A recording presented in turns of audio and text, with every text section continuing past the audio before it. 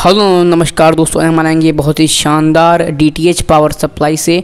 एक शानदार power supply जो 24 वोल्ट 3 वोल्ट 5 वोल्ट 12 वोल्ट सब देगा। ये ऑडियो वीडियो शॉकेट है। ये यहाँ पर यहाँ पर एलईडी एंड रेजिस्टेंस 100 के का है, एक रुपये में। S P S T switch पाँच रुपया। एम बोर्ड का बॉक्स जो हमने फेबिकोल से चिपकाया है।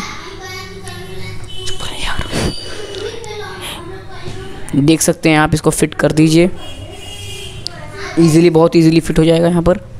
ये S P S T switch यहाँ लगा देंगे यहाँ एल ई डी दोस्तों ये सप्लाई है। दोस्तों ये इसका साठ रुपये मिल जाएगा मार, मार्केट में।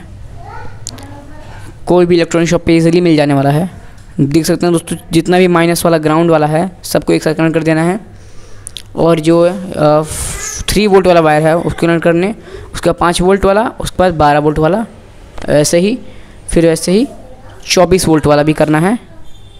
ठीक है? अभी चौबीस वोल्ट वाला वायर हमने कनेक्ट कर दिया यहाँ पर। देख सकते पूरा लगभग कंप्लीट होने वाला ही है। एट्टी परसेंट वर्क कंप्लीट हो गया हमारे यहाँ पर। बाकी बचे ट्वेंटी परसेंट, वो है सप्लाई का ये लीड लिया है, दस रुपये मिलता है मार्केट में। और ये, यहाँ पे लीड का वायर कनेक्शन कर देना है। यहाँ पे रेजिस्टेंस के साथ करिएगा ताकि एलईडी फ्यूज़ ना हो। देख सकते हैं दोस्तों बहुत ही ईजी है।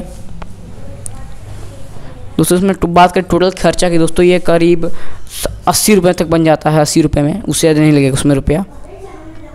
देख सकते हैं आप बिल्कुल ईजीली देख सकते हैं। ये हो गया, यहाँ पे रेजिस्टेंस कनेक्ट हो गया।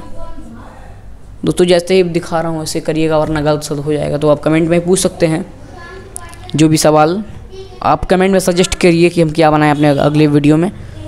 सोचना पड़ता है बहुत ज़्यादा, इसलिए वीडियो लेट हो जाता है। ये देख सकते हैं, बिल्कुल अच्छे लाइट जल रहा है, दिक्कत नहीं आई है। ये देख सकते हैं आप मल्टीमीटर से पावर परेशान कर मल्टीमीटर में देख सकते हैं।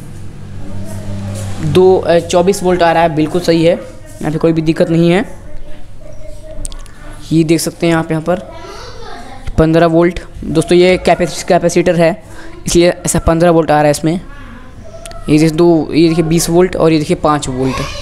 ठीक है दोस्तों, पाँच वोल्ट देख सकते हो बिल्कुल। बाय